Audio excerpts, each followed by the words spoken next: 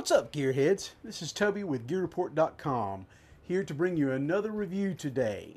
Today we're going to be talking about the Interordnance XP AK style shotgun.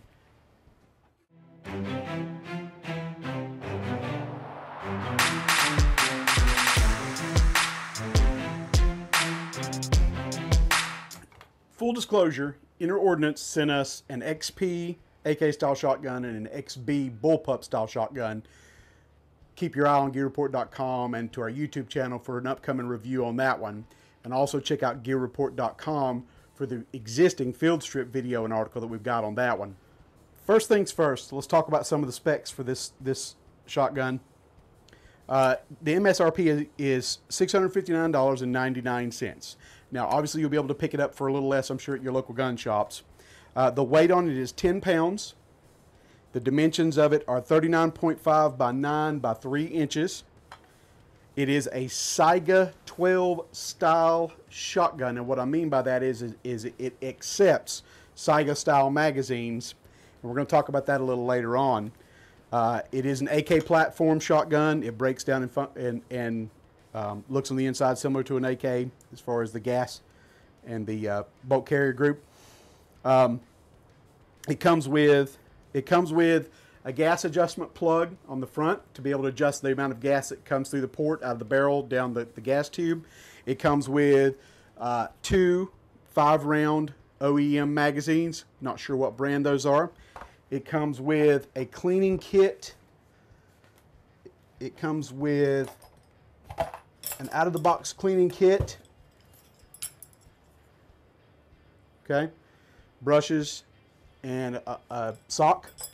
It comes with two factory choke tube or barrel tubes. One of them is just a screw-in extension tip. One of them is a is a uh, recoil reduction adapter to where you can screw it in to the barrel and then you can unscrew the cap off of the end. Wow, that's really screwed all the way in there. Unscrew the cap off of the end and actually uh, put a, a recoil reduction device on there or some type of device for looks. It comes with a gas gas cap or gas tube adjustment tool. And it comes with five chokes. Now, the website says stated that it comes with the on their website it states that it comes with three chokes in the box. So I'm not sure if that was just the one that we received for whatever reason or if if if you do in fact get five chokes with that instead of just the three. Comes with a, a pretty good quality choke adjustment wrench or choke wrench and it comes with all the Allen wrenches you need in order to make the adjustments to take, for example, to, to take loose the, the uh, trigger group from the bolt or from the body, from the frame. So out of the box, that's what, what it comes with right out of the box. Uh, and that's some of your, your specs. All right, I want to talk about the box that this thing came in.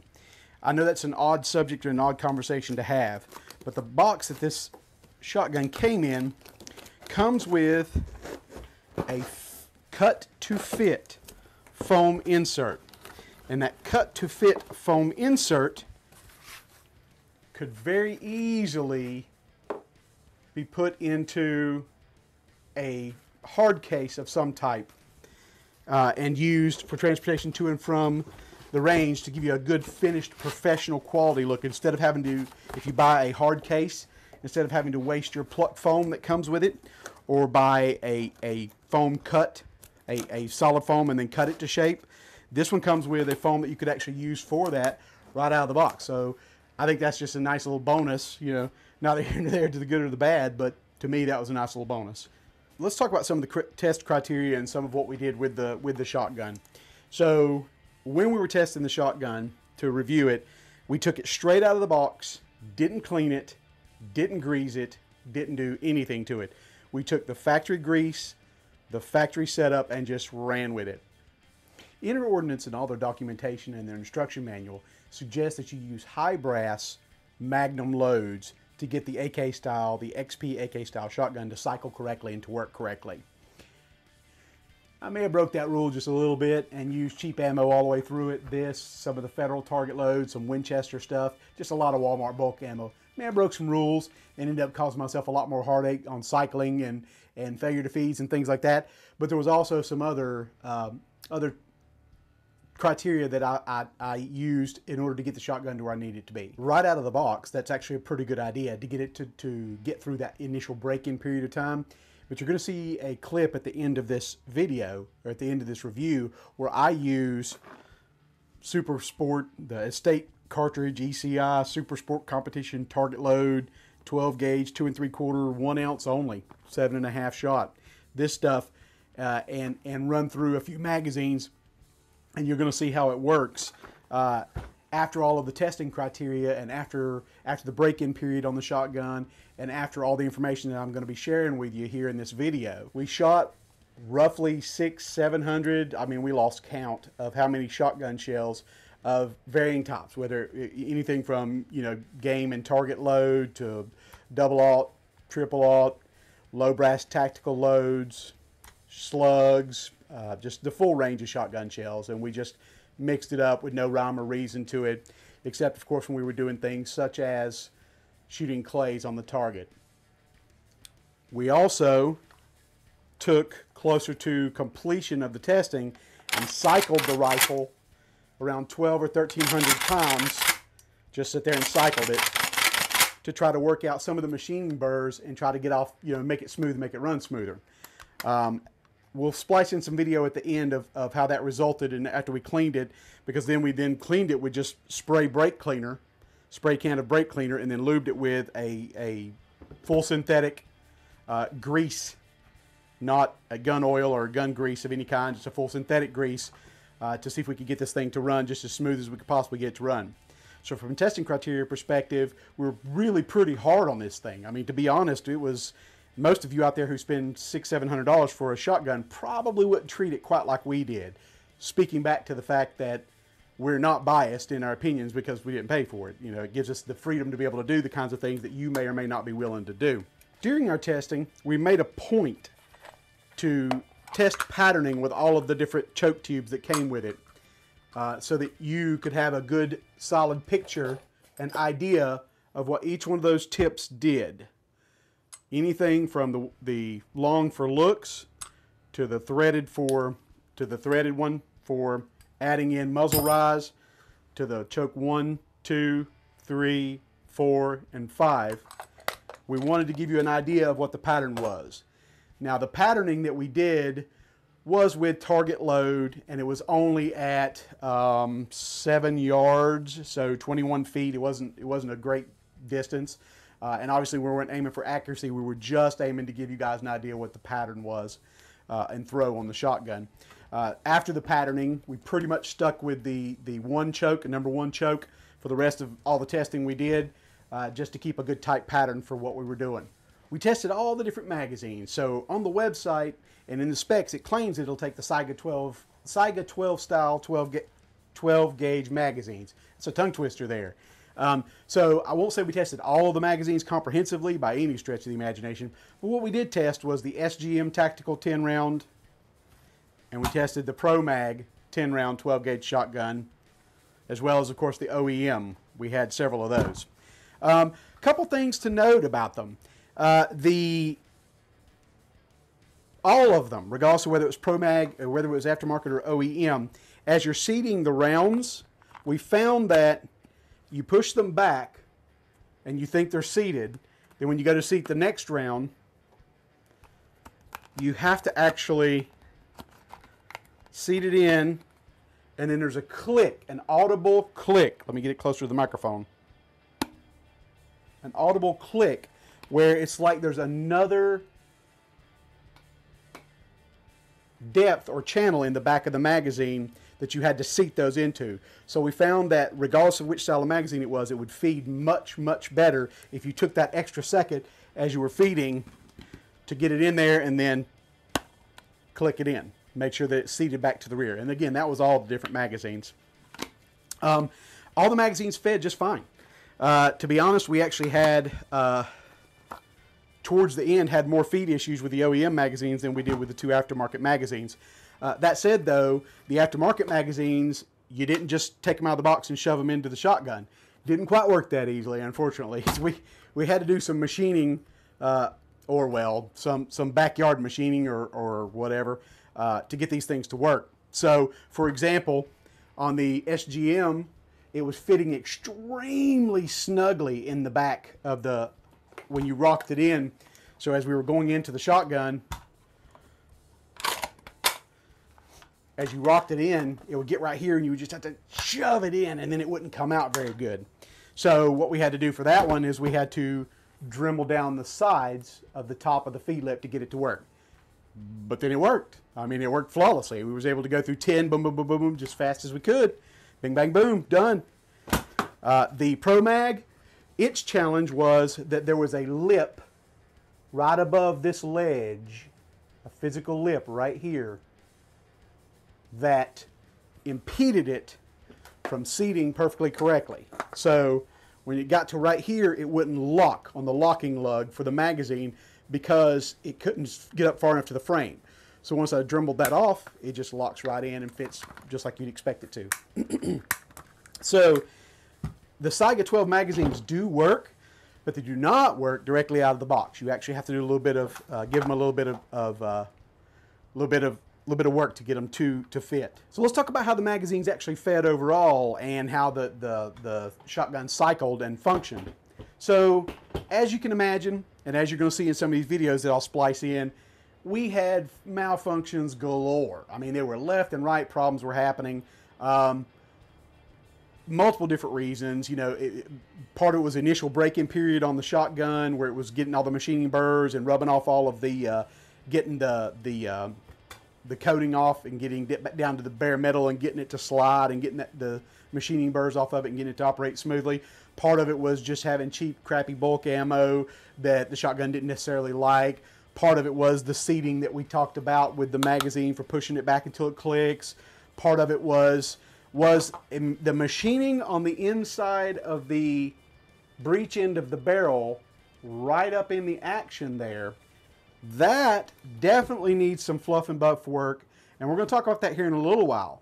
But what that would cause is a crush feed to where it would would on occasion randomly crush the shotgun shells up into the barrel and cause cause it to see you know cause it to cease. It wouldn't work. It wouldn't push forward and and, uh, and work. So, you know, overall, right out of the box, the the shotgun didn't work just flawlessly, perfectly like a performance semi-automatic shotgun that you'd expect. Now that said, this isn't a semi-automatic performance shotgun. This is an AK style shotgun. So those of you out there in the community who are watching this video probably already know that those types of things are a consideration with every brand of AK style uh, shotgun. That's that's the break-in periods, the the the greasing and lubrication, uh, the gas tube adjustment. The those kinds of points are, are pretty much just synonymous with the AK shotgun world. So no shock and no surprise to you. All right, so let's talk about some of the pros and some of the things we really liked about the shotgun. Uh, obviously, it has a really good feel from a tactical standpoint. It seats well. It feels good. It, it feels exactly like and operates roughly exactly exactly like an AK-47. Uh, it breaks down and cleans exactly like an AK-47. We threw this thing on the ground. We tossed it around. We kicked it. We got dirt in it. We really ran it, uh, and it, it, just kept functioning. It did not give us any problems whatsoever. Um, we like the fact that the gas tube adjustment is out in plain sight and easy to get to. That was a nice touch because that is a factor when you're when you're adjusting for the different types of load that you're going to be using. Uh, different types of shells and the shell loads that you're using. Sometimes you have to adjust that gas block on a lot of a lot of shotguns or a lot of AK style shotguns to get it to feed correctly. Uh, we did not test a performance kit in it, a performance plug or performance spring, uh, any of the performance parts. Uh, we intend to do that at a later date, uh, but we have we did not do it for this because we wanted to do a full out of the box review on this thing. So keep an eye on our website or keep an eye on our website and our YouTube channel we'll try to get that to you in the foreseeable future when I get a little extra money to blow on getting those parts. So another couple things that we liked about this thing right out of the box was the trigger reset. So I know that may sound a little odd and like just something elementary or rudimentary, but the fact that it has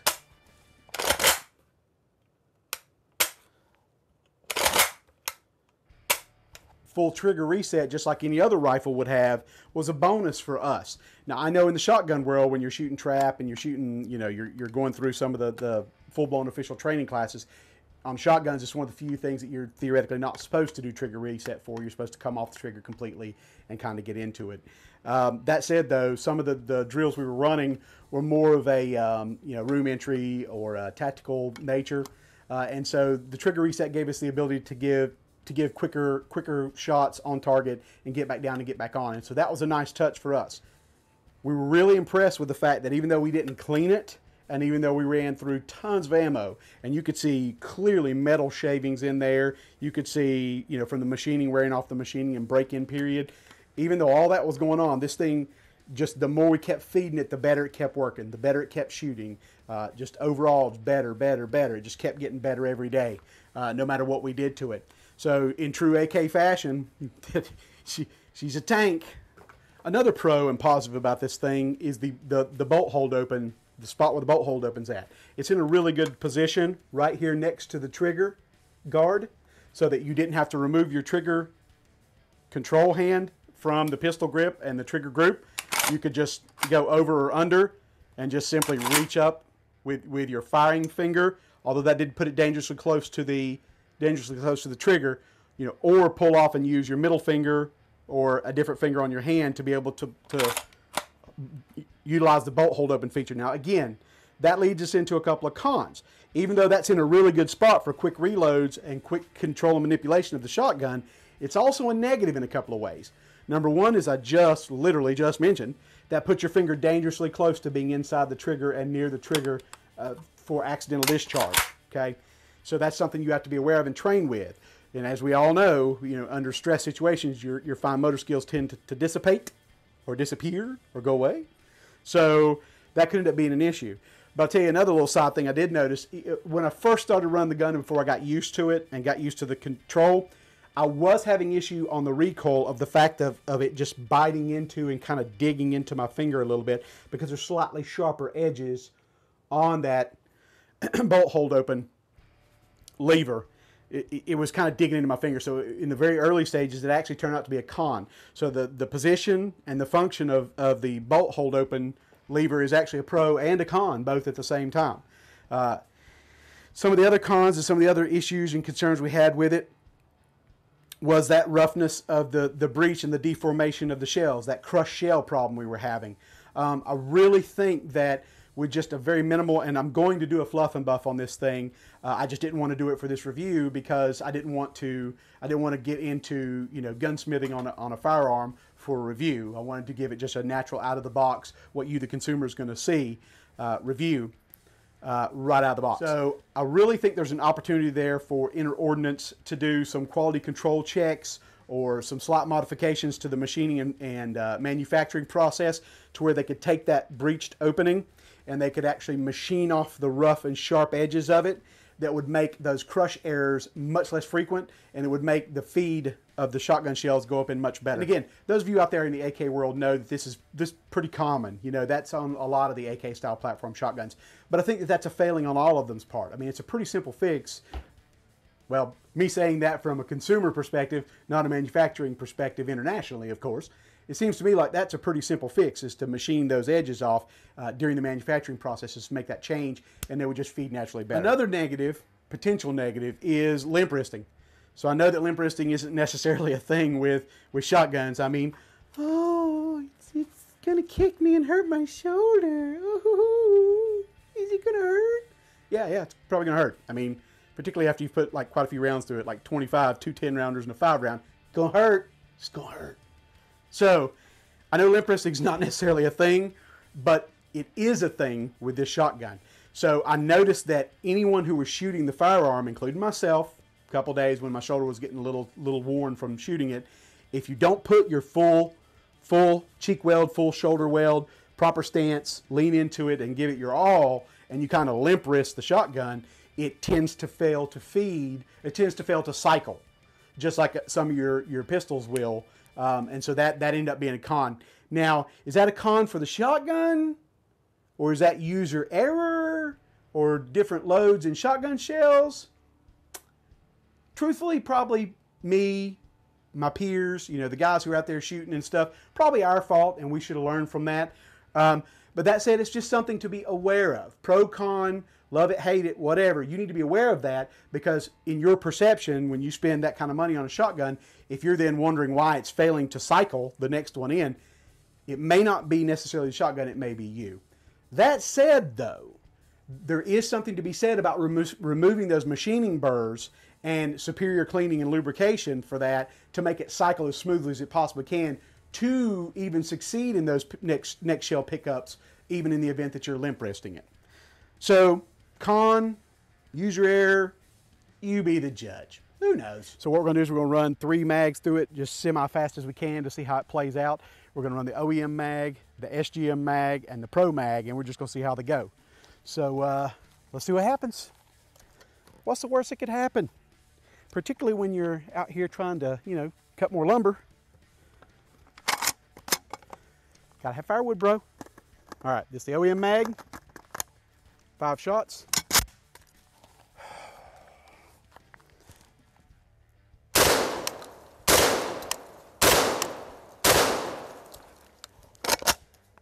Oh, so that's one of the um, shove feed problems where it it uh, malformed the case by not going into the feed ramp correctly. So that was not a magazine failure per se. Now let's do the SGM mag. See how that works out.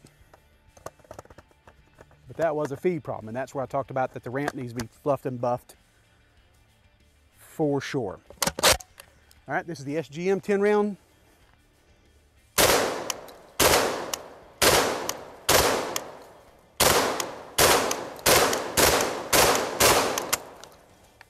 Flawless. Pro Mag.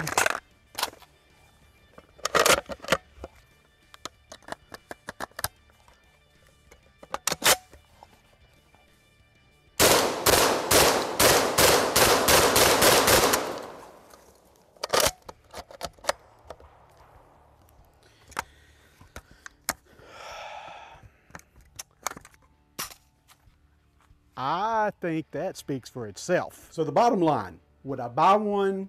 Would I trust my life to it? Would I trust my wife and children's life to it? That's pretty much what you're thinking. Is this going to be the one that you keep beside the bed for the bump in the night? So here's the deal. Would I buy one? Absolutely.